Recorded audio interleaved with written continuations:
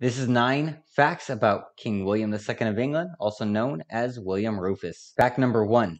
He was called William Rufus as Rufus meant the red due to his ruddy complexion and possibly reddish hair, although later in his life he is recorded to have had blonde hair. Fact number two. Although he was the second surviving eldest son of King William I of England, he was given England in William I's will rather than his older brother, Robert. Fact number three. The Anglo-Saxon Chronicle claimed that William II was hated by almost all of his people and abhorred to God. Fact number four. He vowed that no one would be the Archbishop of Canterbury as long as he lived after the death of his friend, the previous archbishop. However, he did eventually make Anselm the archbishop. Fact number five King Malcolm III of Scotland invaded Northumbria. King William II sailed back from abroad and chased Malcolm back to Scotland. Fact number six William II never married and never took any mistresses. Fact number seven he set new fashions in his court such as having long hair. Fact number eight William II died in a possible hunting accident